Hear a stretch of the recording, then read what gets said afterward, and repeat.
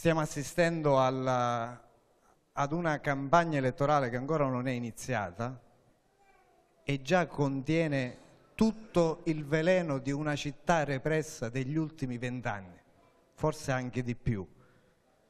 Vediamo e ascoltiamo quotidianamente un clima di, eh, di, di veleno, di sfida, di scontro e questo, questo clima se abbiamo deciso a questo clima di dare una risposta e lo abbiamo fatto secondo me nel migliore dei modi e nell'unico modo possibile per poter parlare di politica, ovvero alle fangate, ai colpi bassi, al, ai tentativi di arrestare un processo che ormai è in corsa e non si ferma più.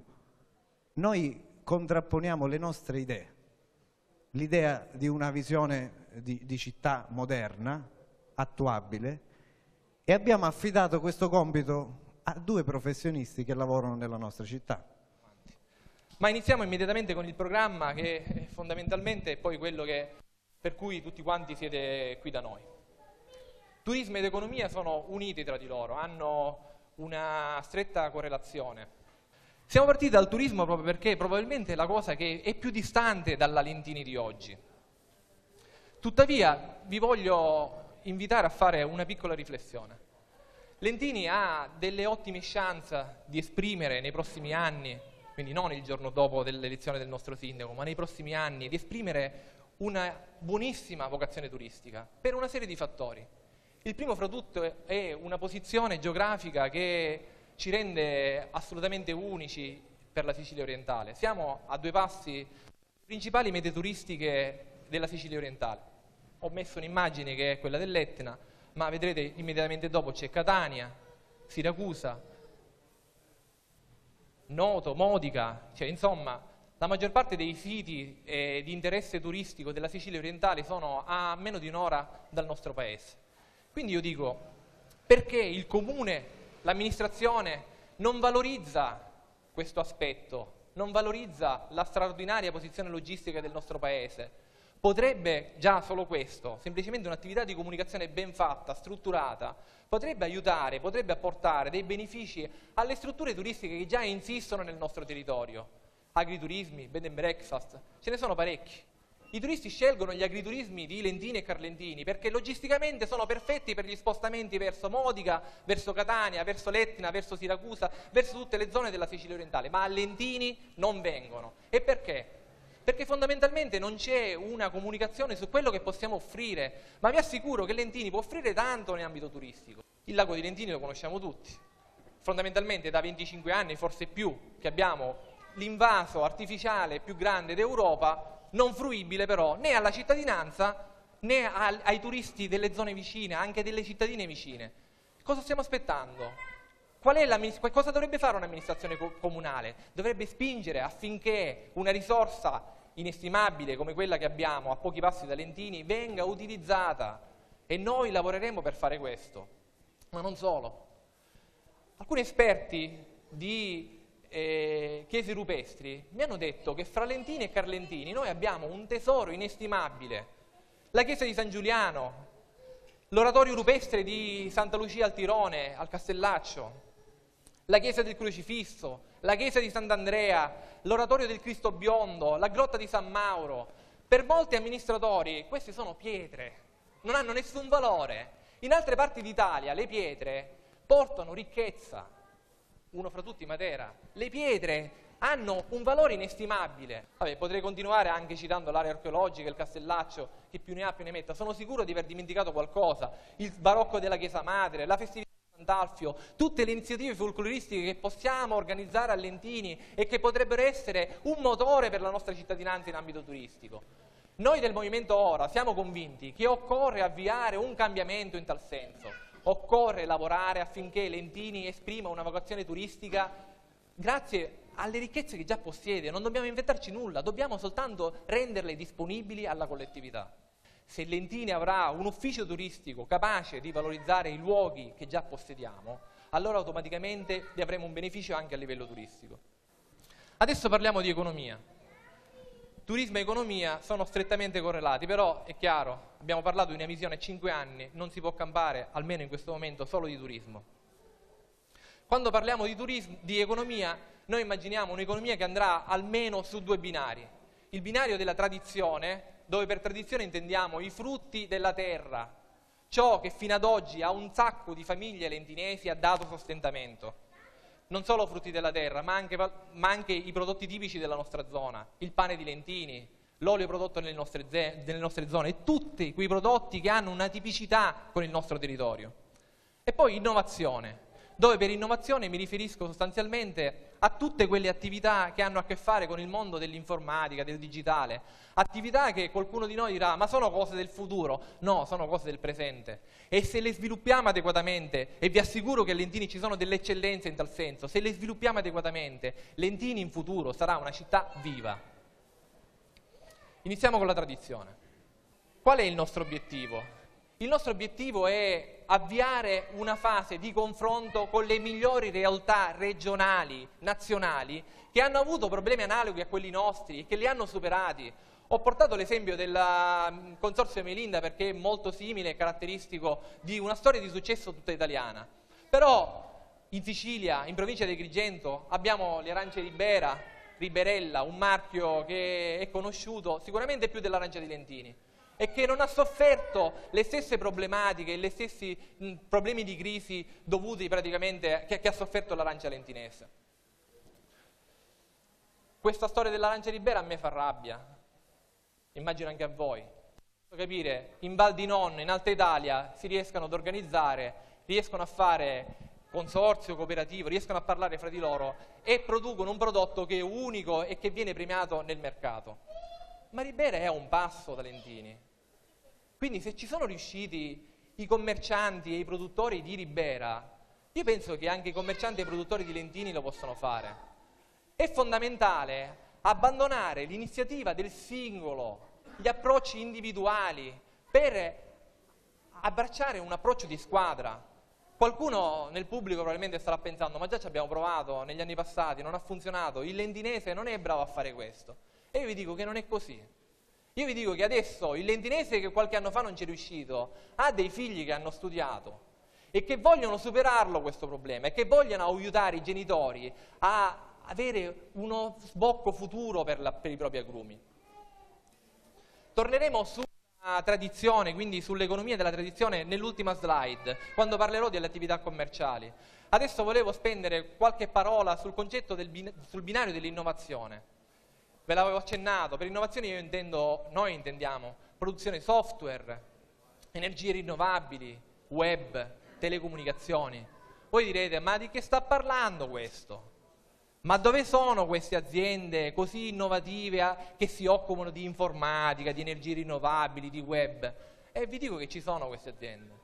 Lentini ha una marea di eccellenze in tal senso, abbiamo start-up, abbiamo produttori di game che vengono venduti, di giochi online che si utilizzano appunto dai giovani, che vengono venduti in tutte le parti del mondo, abbiamo aziende di comunicazioni, più di una addirittura. Allora, il nostro obiettivo è quello di valorizzare queste, questi, queste professioni, perché sono professioni del presente, sono sicuramente, rappresentano le professioni del futuro, rappresentano la domanda del futuro e se noi non investiamo su quest, anche su questa tipologia di professioni, rischiamo che fra dieci anni, vent'anni Lentini sia un paese morto, perché tradizione e innovazione devono andare di pari passo. Noi però crediamo, noi del movimento crediamo che una città viva non può prescindere dall'esistenza del paese, del, del, del negozio di quartiere. Noi crediamo che sia fondamentale ricreare le condizioni affinché i negozi del centro cittadino riaprono e permangono nella, nello stato di apertura. Noi pensiamo che chi dice che a Lentini occorrono i centri commerciali dica una fandonia. Non è possibile immaginare che a Lentini aprano i centri commerciali, perché vorrebbe dire che gli ultimi negozi che ci sono nelle vie cittadine chiuderebbero, vorrebbe dire che Lentini si trasformerebbe, come è avvenuto in un sacco di paesi siciliani, in un dormitorio.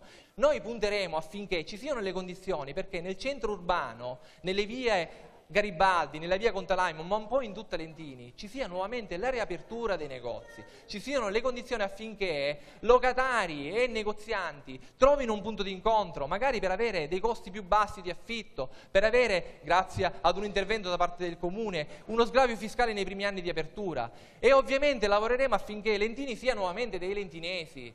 Ma vi rendete conto? La maggior parte delle motivazioni per cui i negozi hanno chiuso è perché a Lentini non si può più fare una passeggiata, a Lentini non si può più camminare, non abbiamo più uno spazio nostro e quindi automaticamente i lentinesi si sono disaffezionati. Quindi, come vedrete prossimi, nelle prossime settimane, noi li abbiamo affrontati questi temi e parleremo nuovamente di incentivazione all'apertura dei negozi cittadini, quando parleremo di vivibilità e di sicurezza, perché è fondamentale, si parte da quello e finalmente completeremo l'area ASI, un'eterna incompiuta, lavoreremo per il completamento dell'area ASI. mostrare come abbiamo eh, intenzione di aumentare l'efficienza della macchina amministrativa. D'altra parte però vogliamo farvi vedere come in maniera paradossale l'incremento dell'efficienza della macchina amministrativa passerà attraverso la riduzione dei costi. Una cosa che può sembrare apparentemente paradossale. Dai servizi e a bassi costi. Come fai? Vedremo anche come incrementeremo il risparmio. Ed è importante perché se l'amministrazione comunale risparmia, sicuramente risparmiamo anche noi. E d'altra parte le economie generate possono andare a essere spese nei servizi che vogliamo creare. Ancora è assurdo che nel 2016, quando andiamo in un ufficio comunale, dobbiamo compilare montagne e montagne di moduli cartacei. Addirittura compiliamo un modulo con la nostra anagrafica in un ufficio, scendiamo di un piano, andiamo in un altro ufficio e ricompiliamo di nuovo un modulo con la nostra anagrafica. Mi sembra praticamente assurdo. Cosa dobbiamo fare? Nulla. Semplicemente guardarci intorno e vedere che in realtà le soluzioni già esistono. C'è il sistema pubblico per l'identità digitale. Dobbiamo solamente prenderlo e applicarlo. Cosa vuol dire? È un sistema molto semplice, si, data, si tratta di una coppia di eh, credenziali associate alla nostra Carta Nazionale dei Servizi, al codice fiscale o un altro documento di tipo elettronico con chip che ci consente di entrare in qualsiasi ufficio comunale e farci riconoscere, senza dover compilare di nuovo le montagne di carta. Siamo nel 2016, è assurdo questo. Inoltre il sistema è sicuro, la privacy è garantita, non c'è nessuna attività di profilazione, non è perché entriamo in un ufficio con il nostro documento qualcuno va a profilare i nostri interessi. È una cosa garantita dal Ministero, non viene fatta. Inoltre sicuramente l'abbattimento dei costi legati alla carta, legato al toner, non può che far sì che ci sia da una parte un risparmio, ma dall'altra parte anche un rispetto maggiore per l'ambiente. Sempre parlando di ambiente, è importante che la pubblica amministrazione debba fare da esempio. Pertanto, se vogliamo far spingere i cittadini affinché utilizzino l'energia rinnovabile affinché applicano le normali regole per ottenere un risparmio energetico maggiore, dobbiamo far sì che anche l'amministrazione comunale ottenga dei finanziamenti affinché ogni edificio comunale possa avere un risparmio energetico più elevato e soprattutto possa utilizzare energie rinnovabili. Sempre parlando di costi assurdi, è assurdo che attualmente si paga nel comune di, per il comune di costi pari a migliaia e migliaia di euro, canoni o costi di, per il consumo per le linee telefoniche. Attualmente c'è una tecnologia chiamata VoIP, che non è una tecnologia futura, il VoIP ormai è una realtà, è utilizzata, tutta la rete nazionale utilizza il VoIP, tranne l'ultimo miglio, ovvero quello che ci viene fatto pagare da parte del gestore telefonico, qualunque esso sia. Il VoIP porta risparmio, Dall'altra parte però il VoIP non porta solo risparmio, il VoIP porta anche servizi innovativi, altrimenti impensabili. Ad esempio, giusto per citarne qualcuno, che sono parte integrante della nostra rivoluzione di macchina amministrativa che vogliamo mettere in atto. Vorremmo abilitare una, una richiamata automatica. Cosa vuol dire? Il cittadino chiama il comune, il dipendente comunale magari è impegnato in un'altra conversazione con un altro utente che sta chiedendo altre informazioni deve stare al telefono ad attendere che si liberi la linea? No, semplicemente seleziona di essere richiamato e aggancia. Dopo qualche minuto, quando la linea sarà libera, l'utente verrà richiamato. Quanto costa? Zero per il cittadino perché viene richiamato. Quanto costa per il comune? Zero perché vengono utilizzate delle linee dedicate a costo zero. Pertanto non pagherà il comune, non pagherà il cittadino e non perderà tempo nel comune né nel cittadino. In ottica di ottimizzazione del, dei costi, quindi di riduzione dei costi, attiveremo anche il servizio di VoIP fax. Non si può ancora oggi spendere soldi, soldi per carta e per toner. Ci sono dei servizi, mandare un fax sarà uguale a mandare un'email, il costo sarà lo stesso, sarà eh, semplice allo stesso modo. Ora parliamo di tasse. Sicuramente pagare le tasse per un'amministrazione comunale che lavora bene, che offre servizi, che investe nel territorio è giusto. Sicuramente non sarà bellissimo, come molti ci hanno detto in passato, però comunque è giusto.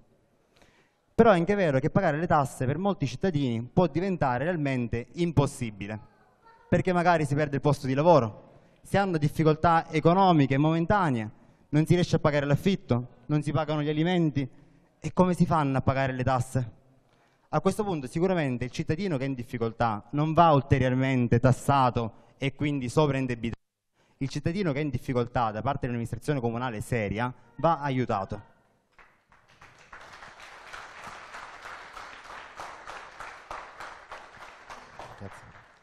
Come abbiamo deciso di aiutarlo? Al solito, senza inventarci nulla, applicando ciò che già esiste e ciò che già è possibile applicare immediatamente. Diamo alcune precisazioni. È già qualcosa di previsto, esiste nel famoso decreto Sblocca Italia, l'articolo 24, decreto legge già convertito anche in legge, non dobbiamo fare nulla, se non adottare un regolamento comunale adeguato che vada a stabilire quali sono i criteri per accedere al famoso baratto amministrativo viene rivolto solo ed esclusivamente a chi ha reali necessità, solo a chi ha veramente bisogno, solo a chi non può realmente pagare le tasse, però allo stesso tempo vuole contribuire affinché la collettività possa andare avanti con i servizi. Importante, avrà, sarà legata alla corrispondenza effettiva fra il tipo di lavoro prestato e il tributo da tagliare. Un esempio su tutti, il cittadino che si impegna a ripulire i muri dalle scritte, il cittadino che si impegna a ripulire la villa comunale perché è sporca, perché magari c'è qualcosa da tagliare, potrà ricevere esenzioni in materia di tributi sui rifiuti locali. Ovviamente parliamo solo e esclusivamente di tributi locali, non si può parlare di tributi di altro tipo, di tributi nazionali, come magari è stato fatto. Tra l'altro, cosa particolarmente importante e a cui teniamo molto noi ragazzi del Movimento Ora, è che rendersi parte di un'amministrazione fa incrementare il senso civico di ognuno di noi. Se un giorno ho pulito la villa comunale, se un giorno ho pulito un muro, l'indomani quando la vedo sporcare, imbrattare, stanno imbrattando, stanno sporcando il mio muro, stanno sporcando il muro che io stesso ho ripulito. Marco e Alessio vi hanno condotto per mano non in una città futuristica, vi hanno condotto per mano in maniera virtuale, facendovi toccare con mano quelle che sono delle realtà già esistenti. Anzi, io mi aspettavo di suscitare in voi la curiosità e anche lo scetticismo. Mi aspettavo che qualcuno dicesse sì, ma queste cose sono irrealizzabili. E loro lo hanno detto bene e mi hanno anticipato. Non sono cose irrealizzabili, sono cose già in atto. Qualcosa che noi consideriamo futuro in questa città medievale è già in atto da circa dieci anni, in realtà che sono fiore all'occhiello perfino di comuni eh, relegati ne, ne, nei monti siciliani. Questo per, per dire cosa? Questo sarà il nostro stile da oggi fino al 5 giugno. Qui in questa sede, in questa stanza, in questo movimento è la nostra campagna elettorale non eh, no, non vedrete in noi, nei nostri volti, l'ansia, la rabbia, l'ansia da prestazione, di arrivare per forza a un risultato, non ci vedrete frenetici a parlare con chiunque eh, per convincerli ad accompagnarci nel, eh, al voto. No, noi non, non insulteremo le persone rispetto agli altri che stanno parlando di persone e di gossip. Questo per noi è la cifra della nostra campagna elettorale. E vedete, questo viene da, eh, da una parte di città che è stanca e martoriata, perché non ci vuole molto a criticare la realtà esistente. Non ci vuole molto a, a distinguere tra chi queste cose le sta pensando e tra chi queste cose non le vuole nemmeno immaginare. E vi racconto un aneddoto, non vi faccio il nome. Ieri abbiamo praticamente chiuso la nostra seconda lista e vi annuncio e vi comunico e vi ricordo che noi parteciperemo a queste elezioni con tre liste che fanno capo al movimento ora, tre liste. Noi abbiamo chiuso, eh, abbiamo accettato l'ultima candidatura della seconda lista e vi racconto questo aneddoto. Il, eh, il, candidato in questione era stato contattato da, un, da una coalizione, da una grossa coalizione e gli era, l'avevano invitato, dice prendi un caffè con me che ti voglio candidare perché ti parlo di un progetto. All'incontro, eh, quando il candidato, potenziale candidato, ha chiesto, sì ma eh, le vostre idee, il vostro programma qual è? Gli è stato risposto, mm, non ti preoccupare, tu facci vincere, noi vinciamo e poi attuiamo tutte le cose giuste da fare. Ecco, questa che può sembrare una frase normale, in questa campagna elettorale avvelenata è proprio la sintesi di un fallimento di una società e di una politica, di una classe politica. È quella del programma che si, si fanno le fotocopie del programma alla Buffetti. C'era qualcuno che diceva no, il programma è quello che tu hai in testa, è quello che tu realizzerai e soprattutto il patto che tu hai fatto con chi ti sta dando fiducia.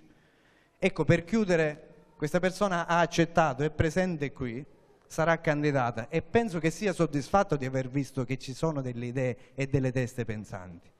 Io faccio solo questo accenno perché mi sono ripromesso di non parlare degli altri, che noi siamo la coalizione che qualcuno ci definisce fuori schema. Noi non abbiamo né ritmi di partito, né imposizioni, né avremo imposizioni, né di nomi, né di pensiero. Noi continueremo così fino al 5 di giugno. E vi invito a riflettere su una cosa. Oggi abbiamo fatto una, quasi, quasi una lezione su quella che può essere la città futura e per un'ora persone numerose hanno riempito questa sala e per un'ora sono state in silenzio ad ascoltare contenuto. Quando gli altri ci stanno dicendo che oggi è difficile fare politica, oggi è difficile fare aggregazione. La sala è ancora piena, cioè non si è stancato nessuno perché non è vero che la gente è stanca. La gente non è stanca della politica, perché la politica è quel meccanismo che fa funzionare una società, una città, è quel, quel meccanismo che rende un insieme di singoli, li rende comunità se c'è la politica succede questo. La gente non è stanca della politica, la gente è stanca dei personaggi che hanno colonizzato le istituzioni e l'hanno spacciata per politica. Quelli sono colonizzatori abusivi. Noi non dobbiamo fare altro che continuare a far conoscere quali sono le nostre idee, continuare a far conoscere chi c'è dietro le nostre idee e ve ne stiamo dando dimostrazione di volta in volta Abbiamo fatto, mi pare, quattro iniziative pubbliche. Tra parentesi, noi parliamo di programma, ancora gli altri non sanno di cosa devono parlare. Noi abbiamo fatto quattro iniziative pubbliche, abbiamo alternato almeno sei, sette oratori diversi. Tutti e sei, sette oratori che non hanno esperienza politica a parte me. Quindi io dico, per l'ennesima volta l'esperimento sta riuscendo. Vi lascio solo con, con una battuta, con una conclusione. Oggi io, io ho fatto parecchie campagne elettorali, ho, ho, assistito a parecchi incontri e sono stato mh, un iscritto ad un partito, sono stato un iscritto ai partiti, ecco, ne conosco il funzionamento. Ma credetemi, quello che abbiamo smosso da novembre dell'anno scorso ad oggi ad ora che siamo a, ad aprile e a giugno si vota, io questa cosa non l'ho mai vista. L'entusiasmo, la passione che abbiamo riscoperto in qualcuno che non ci credeva più, la partecipazione, e soprattutto la volontarietà della presenza e dell'intervento, questa cosa non l'ho mai vista nelle ultime campagne elettorali che ho fatto, ne ho fatto in una decina d'anni, ne avrò fatte una ventina di campagne elettorali. Prendete questo esempio, prendete questa citazione, è la materia più preziosa, e ce l'abbiamo noi, che si può avere in campagna elettorale. Se le altre coalizioni possono avere la persuasione, possono convincere, possono trascinare. Noi abbiamo la volontarietà e la passione. Questi sono due ingredienti che faranno la differenza, che faranno saltare i loro sondaggi finti, perché loro mettono in giro dei sondaggi finti perché cominciano ad avere paura, cominciano ad avere paura e timore che perderanno quello che loro abusivamente hanno conquistato in questi anni con le menzogne e con le false promesse. Noi abbiamo questi ingredienti preziosi. Se ognuno di noi, come già sta succedendo, riuscirà a trasmettere quella che è la nostra idea, quella che è la nostra passione, il nostro impegno e soprattutto la nostra determinazione, il 5 di giugno questa città veramente affronterà una nuova primavera. Io vi saluto e vi lascio al prossimo appuntamento e vi ricordo che convincere delle persone adesso, convincere delle persone adesso, far notare la differenza tra noi e loro, chiunque, sarà importantissimo. Non trascinate le persone a votarci, ma trascinate le persone a ragionare. Devono distinguere tra politica e affari, devono distinguere tra aggregazione e clientela. Questo è quello che noi possiamo offrire e lo stiamo offrendo a questo mercato della politica distrutto. Non aggiungo altro, continuiamo con la passione e a giugno avremo una nuova classe dirigente in questa città. Grazie.